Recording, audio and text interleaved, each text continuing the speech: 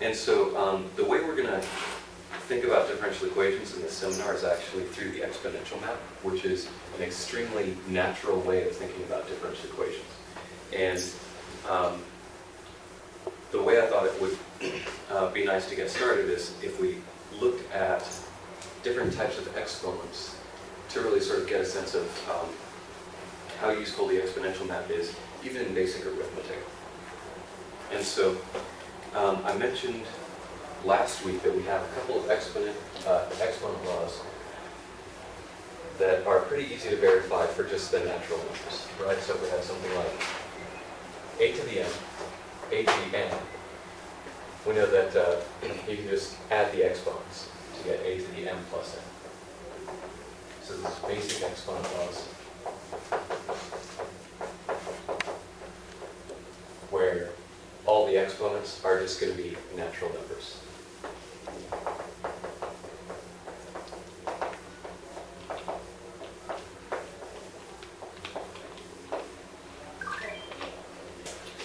So that one's really easy to verify, right? You just write out n copies of A, n copies of A, and when you multiply them together, you get n plus n copies of A. Same thing with a to the m to the n. Multiply out n copies of this, and you get m times n copies of A. a to b to the m equals a to the m, b to the m. And then fractions a over b to the n. Write out multiple copies of a over b, and you just get a to the m over b to the n. So these are really, really easy proofs that you can do for the natural numbers. And um, the uh, thing that we're going to do now is we're going to take these and start looking at more and more exotic exponents, right?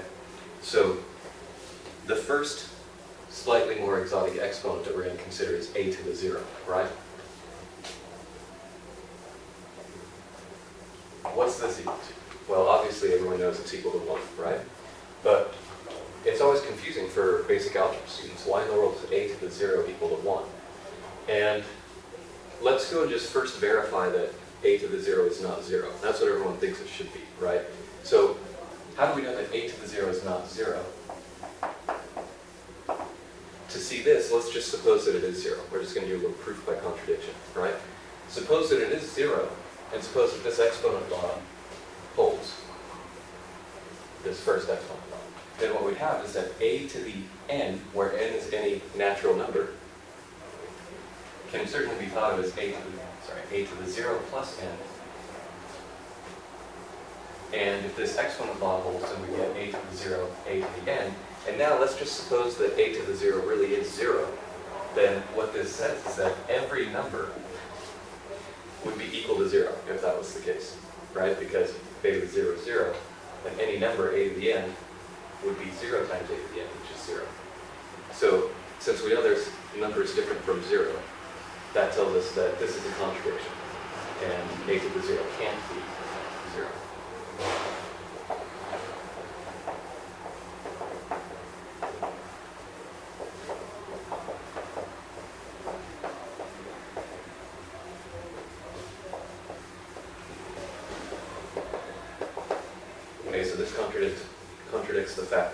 Non-zero numbers actually exist, and so that says that, yeah, a to the zero can't be zero. And now once we have that, we can establish what a to the zero actually is, right? Because if we have a to the zero,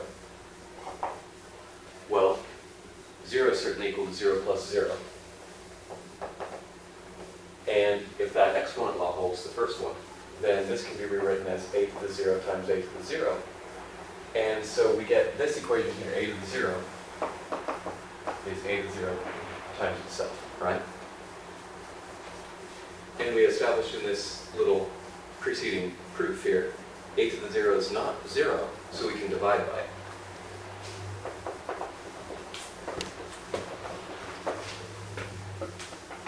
So dividing this equation by a to the zero,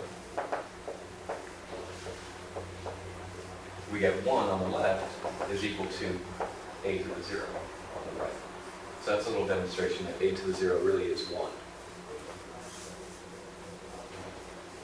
Any questions on this little contradiction proof here? No? Okay, good. So there we go. We took, you know, natural number exponents, and just using these exponent laws, we were able to derive, you know, the slightly more exotic, uh, what is a to the 0, which is no longer a natural number. Um, same deal with something like negative exponents.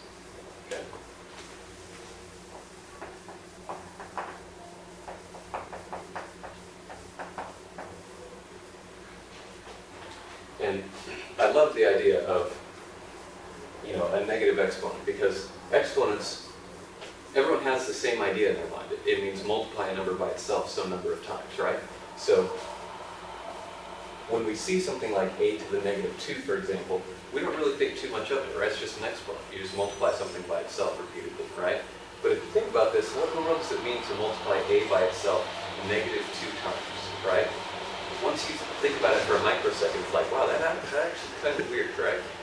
Um, and so how do we define this thing? Well, we define it by, um, again, using what we know, just using these basic exponent laws, okay? And so let's go and, so we're trying to answer what in the world does this thing equal, right? And so what we'll do is let's consider a to the m times a to the minus m. Then we don't know exactly what this thing equals yet, right? But we're going to go and do some algebra here and see what it, what it might equal. So in this case, we know that exponent law holds that if you multiply same base, you add the exponents. So let's go and do that. And so that exponent adds to 0. And so this product here is equal to 1.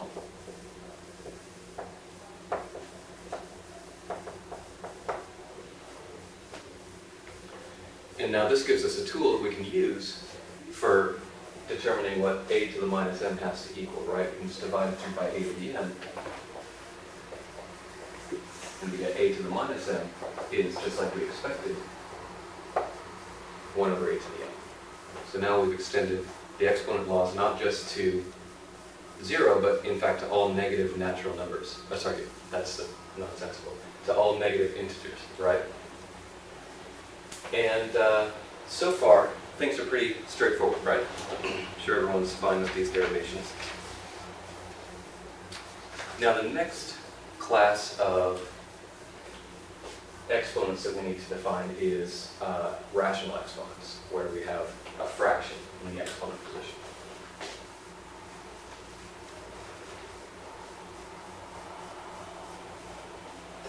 That's going to be related to this exponent line here. So we certainly want this exponent law to hold regardless of what type of exponent you have, right? It wouldn't make sense if we had these exponent laws for natural numbers and some other set of exponent laws for all the other numbers, right? We expect all these exponent laws to hold even for more exotic numbers. And so let's go and take a look. What, what might a to the m over n represent?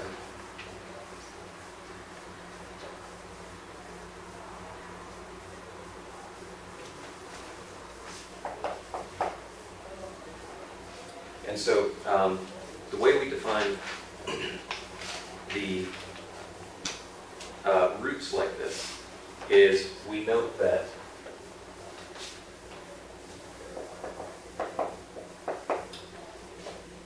if we have a to the 1 over n raised to the n, what do we get? Well, we expect that this exponent law should, should hold for all exponents regardless of what type they are, right? So if that's the case, then we've got an exponent, and we're raising this whole thing to another exponent. So we should be able to multiply the exponents. Okay. And so what we notice is that, okay, the a to the 1 over n is the number you raise to the nth power to get a.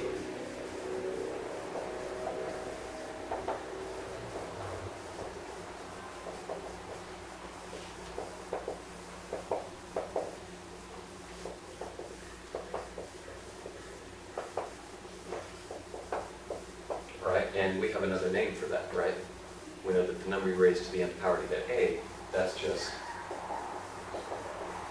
the nth root of a, right?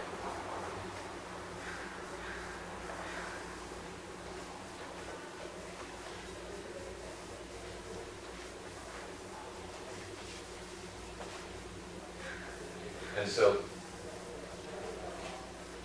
using this, we can now define now defined exponents for all rational numbers. a to the m over n is really the, sorry, the nth root of a raised to the nth power. Okay. And so there we go. We, you know, in a matter of what, 10 minutes, we extended these basic exponent laws. We made sense of what they mean in the context of zero, in the context of negative integers, and in the context of rational exponents. So we're cruising along pretty good, right? Um, but once you get to something like an irrational exponent, now things start to get a little bit more interesting. So irrational exponents.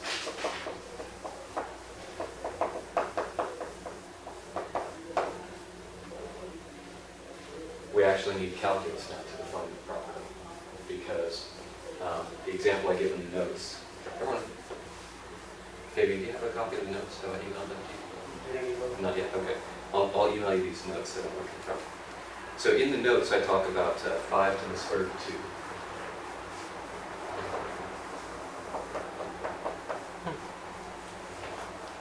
So again, we see it's just an exponent, so everyone looks at it and says, oh yeah, yeah, 5 raised to, you know, a number. That's not, not anything too exotic, right? Um, but, you know, what does it mean to multiply 5 by itself square root of 2 times? You know, It's clearly uh, something that's going to take some work to define. And so what we can do is, like I said, you need calculus to do this. Um, you can think of the square root of 2 as a limit of rational numbers, right? So here we go. We, we know what rational exponents represent. So let's think of this square root of 2 as a limit of rational exponents. Okay?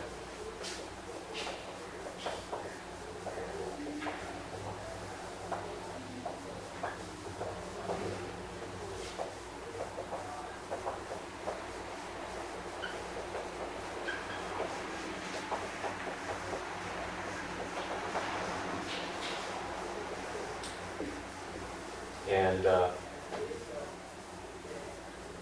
this works for every irrational number, right? Because every irrational number, one way to think about this is that every irrational number has a decimal expansion, right? And a decimal expansion is really just, um, you can think of that as a sequence of rational numbers, right? So, uh, like I said, the example in the book, in, in the notes, um, square root of 2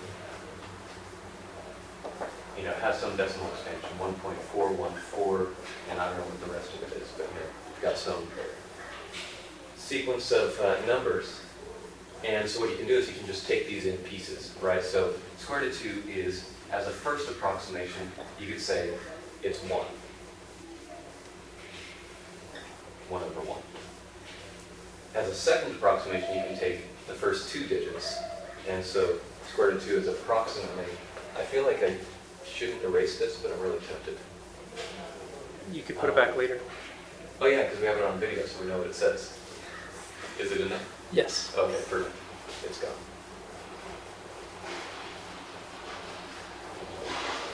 All right, so here we've got these first two digits that we can think of as um, square root of 2 is approximately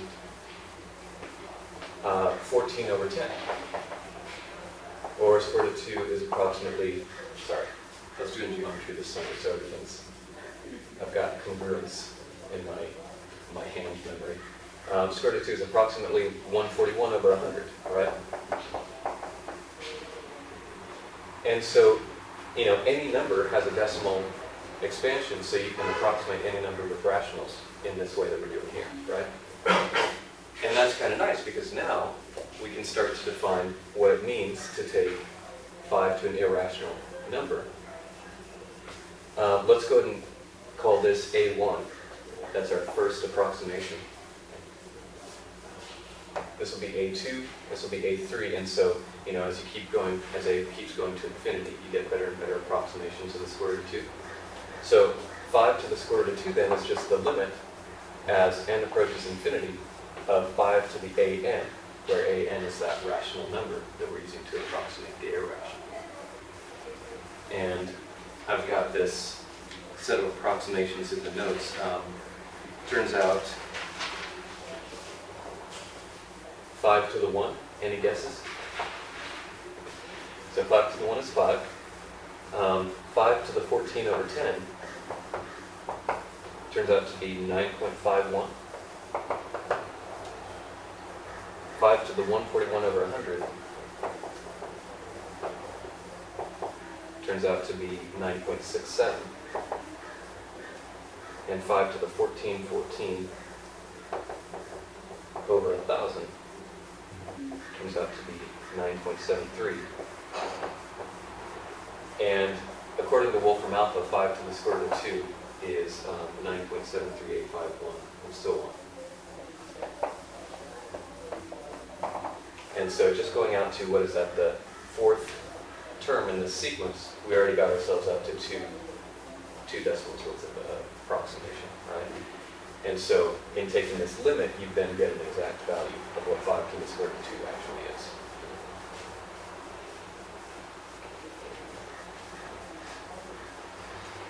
And so this, this is nice, right? Because we've now defined exponents for all possible real numbers.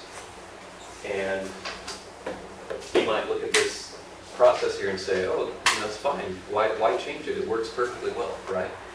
Um, but it turns out that this method, even though it works for defining uh, irrational powers, it actually still isn't the best way of doing it. And to make the point of why this, you know, still breaks down on some level, let's take a look at something like a complex exponent.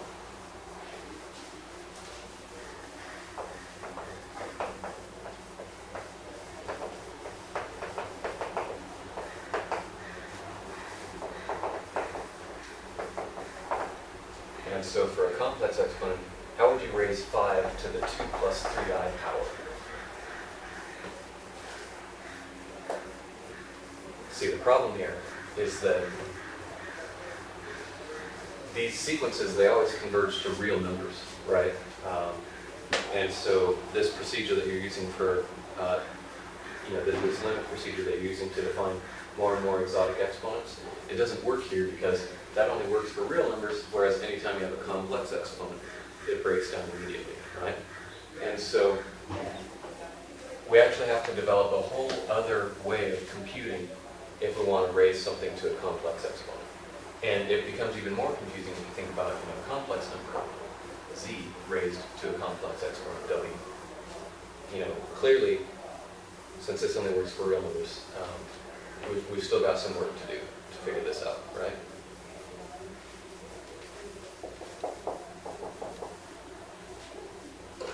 And so fortunately, the method that we're going to develop works for all exponents. Um, well, you have to define exponents for natural numbers, but once you do that, then this method works for all the other exponents, including complex exponents. And so, what is this method that, uh, well, it, it, takes some work.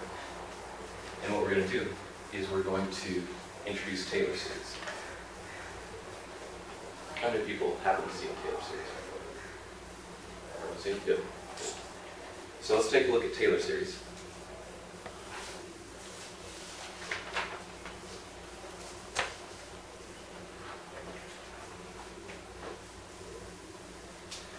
And I'm actually going to turn on the screen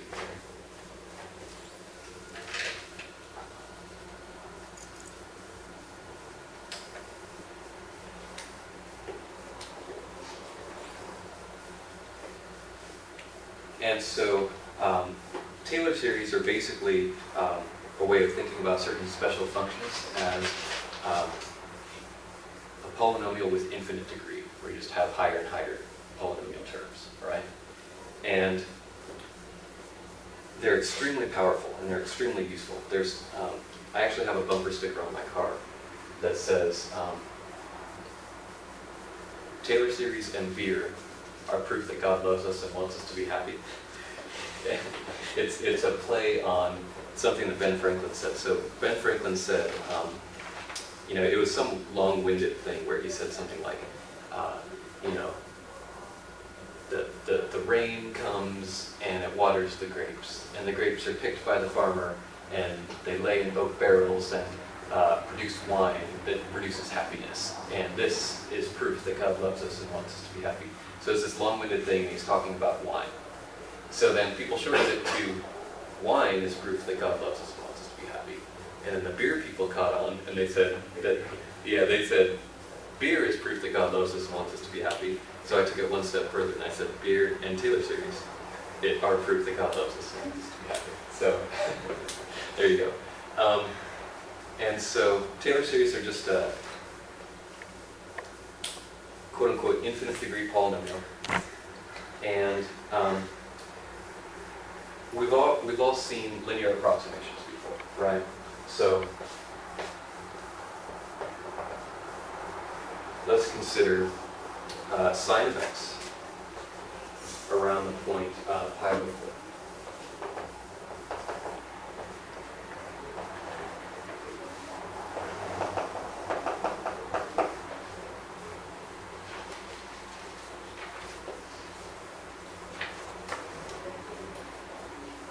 Let's see.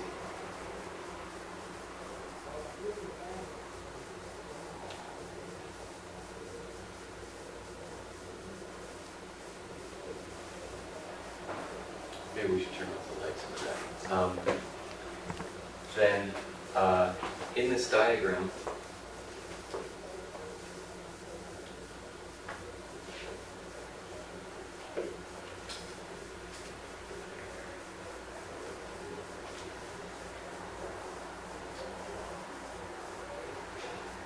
there we go, yeah, it's a little bit faint. Okay. Even fainter. Okay, so in this diagram, we've got sine of x. And uh, everyone's seen tangent lines before, right? Where a tangent line is a linear approximation, meaning um, at this point, um, pi over 4, the linear approximation and the function are identical in, in a couple of important ways. Um, they're, they're identical in one way, and they're similar in a very important way. So um, at pi over 4, the function value and the tangent line have the exact same value at pi over 4, right? So the functions agree at that special point, but then the powerful thing about a tangent line is that not only do they agree at that point, but the line is a, a very good approximation of the sine curve around that point. And so we say that locally, these things are, are um, good approximations of one another, okay?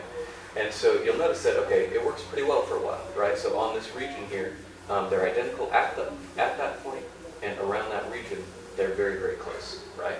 And so that's the notion of a tangent line, is it's a good linear approximation of um, the function. And that's kind of nuts, right? Because sine is a transcendental function, meaning there's no closed form um, formula. It's a it's an infinite series that you have to compute to compute sine of x, right? So what we did is we took a linear approximation, where this linear approximation, you literally have just a finite number of steps, plug in a value, and it gives you a good approximation of what that function is going to be in just a finite number of steps. And so we've seen linear approximations, right? So linear approximations are given by um, f of a plus f prime of a times x minus a, right?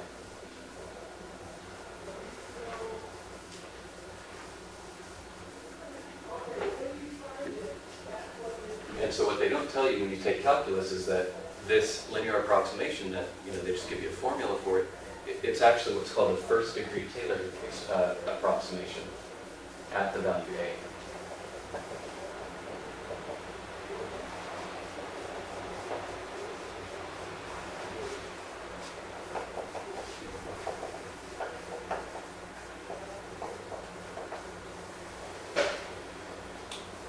And that's the, the property of it, is that at A, right, so if you plug A in here, this whole term drops, and you just get the function value back, right?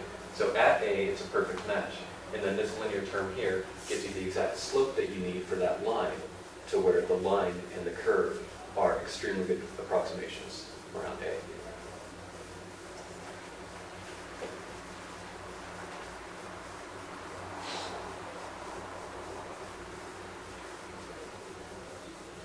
And so everyone's seen these calculations before, right? So we've got, um, if we're looking at sine around uh, pi over 4, then sine of pi over 4 is square root of 2 over 2.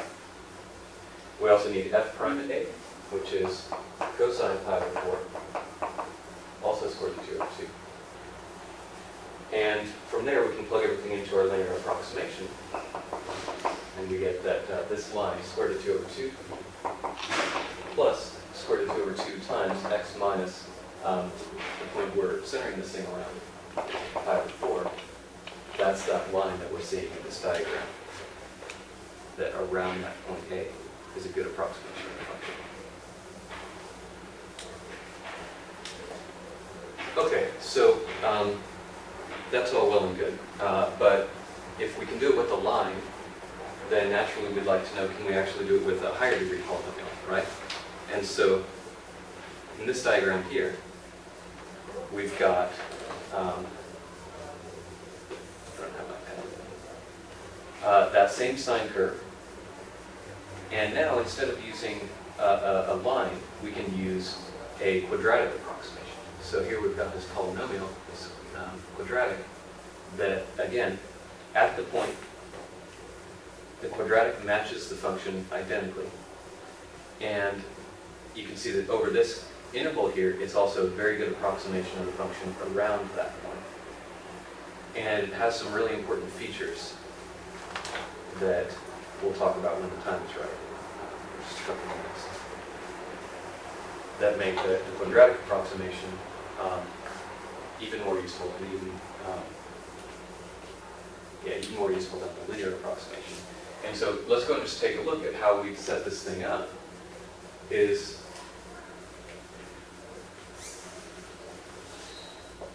the quadratic approximation, we'll call it Q, is going to be set up by saying, um, let's take uh, some value A0 plus another value A1 x minus A. I want to use C's here, actually. C's to keep the A's. Um, Just referring to that. So C sub 0, C sub 1, and C sub 2 times x minus A squared. And so this is a quadratic that once we determine what C0 and C1 and C2 are, this quadratic will then be the quadratic that we want to approximate uh, sine. And uh, we can, you know, do this in a relatively straightforward way. Uh, let's go ahead and just, we don't know what C1 and C2 and C0 are, but let's go ahead and just uh, differentiate this thing twice for reasons that we'll see in a minute, okay? So let's consider Q prime, sorry, Q double prime. First derivative, this thing drops.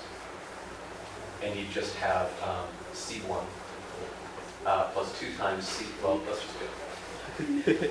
Okay, so Q prime, this thing drops, right?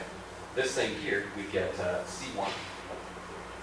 And this thing here, the 2 comes down, C2, x minus a to the 1. So there's the first derivative and the second derivative. You get that thing drops. This thing, the derivative of that is going to be 1. And you end up getting 2c2 as your second derivative, right? And so now, we can use this to um, basically pair the second derivative up with the second derivative of, of the function at that point, okay? Because that's what we want. We want a quadratic in which the second derivative of the quadratic matches the second derivative of the function, right? So what we do, this 2c2, we want this to equal the uh, second derivative of the function. So what have we got? We've got our function sine x. Let's differentiate that twice.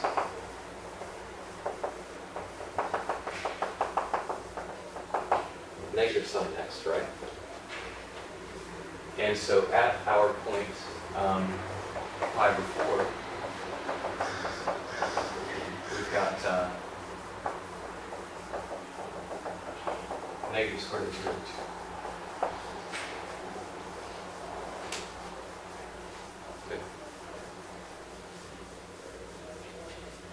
And so what we see is that if we want this value to match this value, then we've got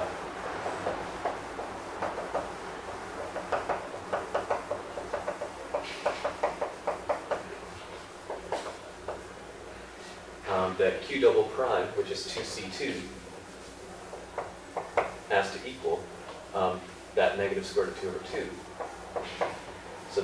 2 is equal to negative square root of 2 over 4.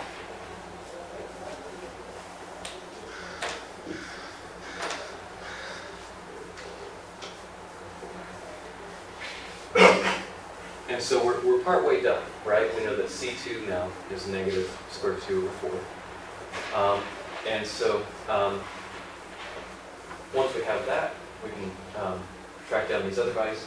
Um, and, and it's basically just the same sort of idea, where you can just differentiate some number of times, certain terms are going to drop, and you, know, you can then solve for whatever coefficient that you need. Um, and I think I'll go and just um,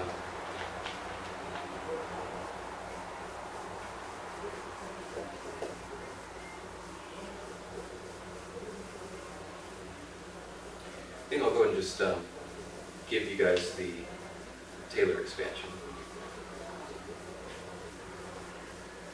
Not the Taylor expansion, but this uh, second degree Taylor polynomial.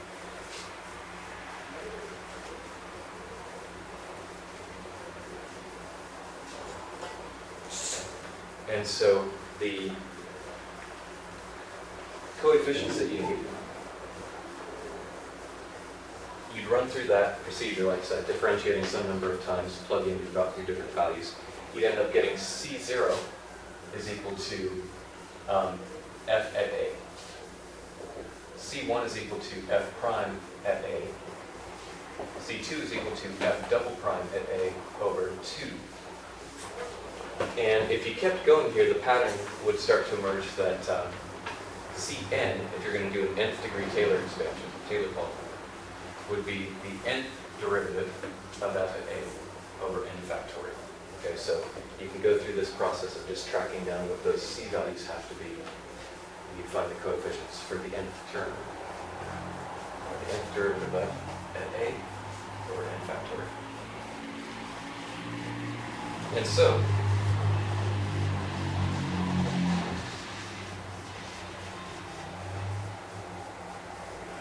for our case, we've got uh, c sub 0 is f at pi over 4, which is square root of 2 over 2.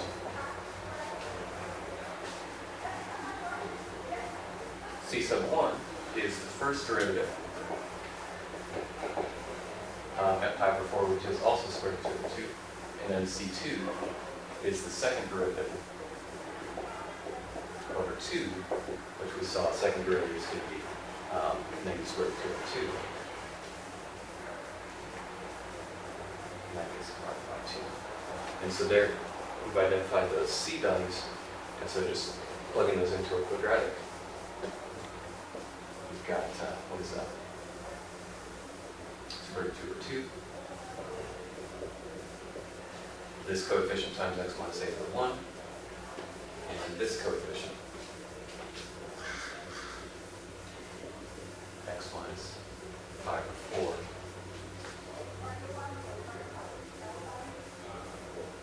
Squared.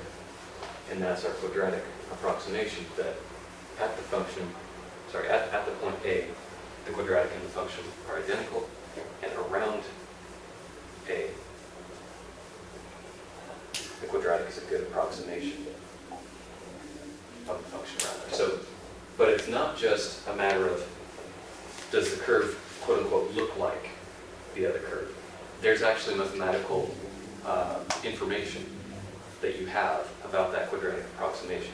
And as a simple example, um, we've got this quadratic approximation we agreed. We've got our sine here. and here's our pi over 4. We've agreed that they're going to look really similar at this point, you know, around that point. But furthermore, take a look at this. What's the concavity of sine at that point? Concave up or concave down?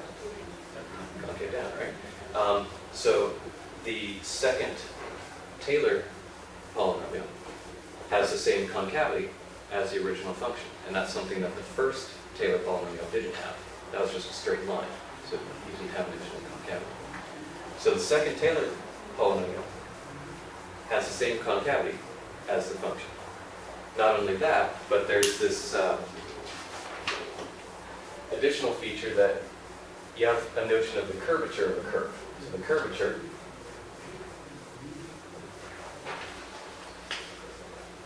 of a curve is what's called kappa.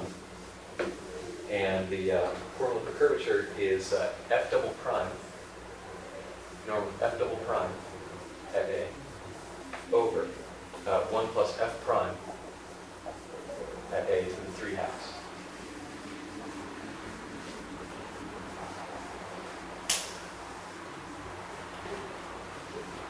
And so, let's go ahead and think back to what we talked about with the uh, quadratic polynomial. We agreed that this um, second derivative quadratic approximation is going to agree with the second derivative of the function, right? So, in other words, in this thing, if we replace f double prime at a with q double prime at a, it would make no difference, right? Because quadratic approximation has the same second derivative as the original function. But furthermore, this thing also has the same first derivative as the original function. So not only can we replace um, the double, the second derivative, but we can also have 1 plus q prime at a. Plug that in there, and that would also make no difference. So a Taylor polynomial, the really useful thing about it is that not only does it give you a nice approximation that locally around that curve, the polynomial and the, and the curve look very similar, but at that point, the functions are almost identical in all the analytic senses. The Same first derivative, so the same tangent, same second derivative, so they have the same concavity. Um, same first and second derivatives means that the curvature at that point is exactly the same as the original function, right? So the, the real powerful thing about Taylor series is that all these coefficients are specially determined to make sure that those functions have the same properties at that point. And so we've exchanged what is a transcendental function, a whole infinite series of terms, for a very good approximation that's just a, a quadratic. So that's the power of Taylor series. Any questions there? You guys love Taylor series as much as I do? You should. So let's go and just go through um, a quick little development of Taylor series in general. So not all polynomials have Taylor series, right? They have to be, um, you have to be able to differentiate them infinitely many times. So, you know, it's, it's a limited class of functions that have a full-on infinite series, but that class of functions is really, really important. So it's worthwhile to go through this development.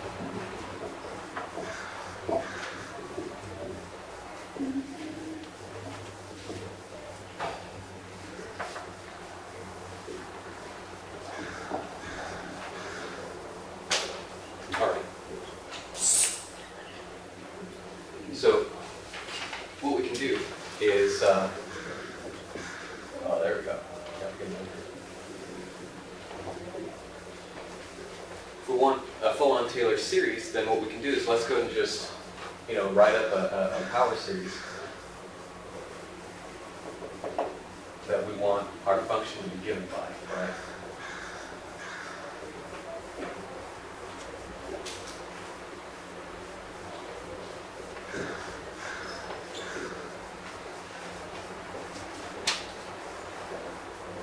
Ah, shoot, sorry. I didn't want these coefficients in there yet. These are supposed to be a mystery that we're going to solve for. Okay, so we've got some coefficients that we need to figure out, right? Who knows what they're going to be? Um, and so the way we do this is um, we can just pretty much do it, uh, you know, uh, term by term, because this thing has a very special property that uh, we're going to be expanding around a, so our polynomial terms are going to be this um, x minus a to the power k. And so the nice thing about this is that uh, you'll notice that um, anytime we put a in there, infinitely many of those terms are going to drop, right? So we've got c sub 0, c1, x minus a to the 1, c2, x minus a to the 2. And so when we plug a in there, all these terms are just going to be 0.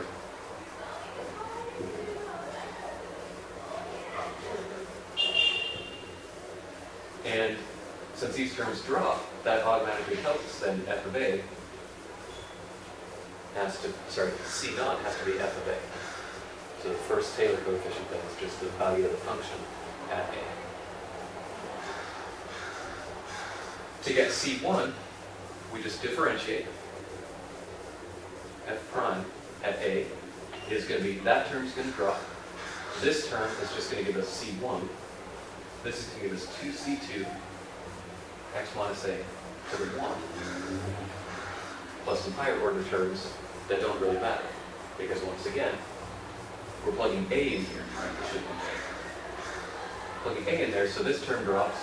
That term would have a minus a squared, so that's going to drop. a minus a cubed, so that's going to drop. And since all those terms drop, we see, okay, f prime of a is just going to be c1. And so let's just do um, two more coefficients. So we can see this pattern start to emerge. Um, double prime, if we differentiate this thing twice, we'd end up getting 2c2 plus um, 3 times 2 x minus a plugging so it's just a minus a to the 1. 4 times 3, a minus a to the 2. And again, all those terms drop to give us 2c2. And like I said, one more derivative, we should skip back to that. Differentiating this thing three times is going to give us uh, 3 times 2 and times 1. C, um, that C4. Those C's are still sticking around here. So 3 times 2 times 1 times C3 plus uh, 4 times 3 times 2 times C4, uh, A minus A the 1, and then all those higher order terms, and all those terms drop to give you, oh, look at that. This is um, 3 factorial C3, right? And so what do we have? We've got C naught was equal to F at A. C1 is equal to F prime at A. C2, solving for C2 tells us we've got F double prime at A over 2 C3, we found f triple prime of a over 3 factorial. So what we have then is that each of these is really just some order derivative of f at a divided by the order of the derivative factorial, right? And so those are the um, coefficients that we need to plug into this series to give us the appropriate Taylor expansion for f of a.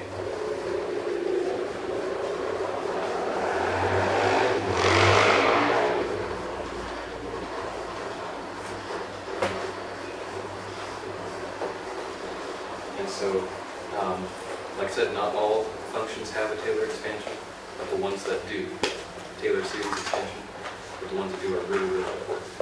And I, I thought I'd just end by uh, writing in um, a couple of really important Taylor series.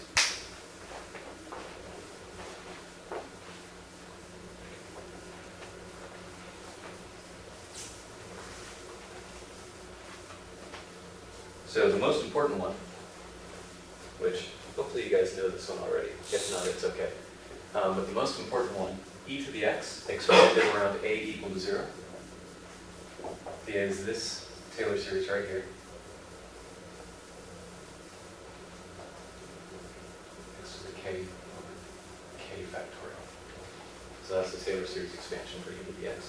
How many people, it's okay if you didn't, didn't know that? No? You've seen it, yeah. Yeah. Definitely you want to memorize that one. Um, There's, uh, I, I think I've told some of you guys this, there's a, a- a book, a really famous book um, by uh, Walter Rudin, and it's like, every mathematician has a copy. Um, The very first sentence in the book says, this is the most important function in mathematics. So definitely memorize that one, learn it. Um, We're going to use it extensively in this class, and it's actually what uh, this whole class is going to be based on, is differential equations using this thing as the tool we use to solve them. Okay, so that's the Taylor series expansion for e to the x, expanded around a to the zero.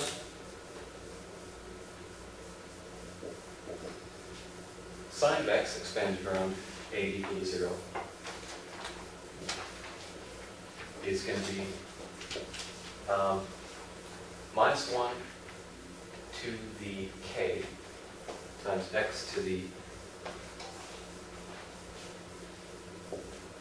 uh, 2k plus 1 over 2k plus 1 factorial.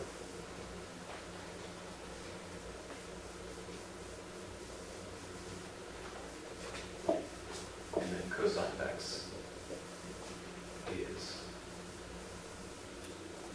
sum from k around to 8 equal to 0. Sum from k equal to 0 to infinity. uh, Minus 1 to the k, x to the 2k over 2k factorial. And all three of these formulas are actually closely related to one another. Um, e to the x actually sort of gives birth to these two functions if you look at um, e to the x with a complex exponent in the right way. So, um, I think we'll leave it there for this week. Um, And uh, so, remember, this is all in the spirit of trying to define ever more exotic exponents. And so, that's where we're headed with this, is that these two, they're just provided for informational purposes, just because they're really important. This guy here, though, this is what we're going to use to start defining complex powers of complex numbers. So, any questions? Cool. Well, thanks so much for coming. Uh, next week, I planned on bringing um, some snacks in case uh, people showed up. So,